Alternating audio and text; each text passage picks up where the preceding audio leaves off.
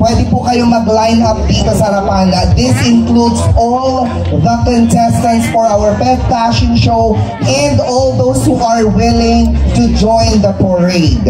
Line up lang po tayo dito sa harapan. Thank you very much.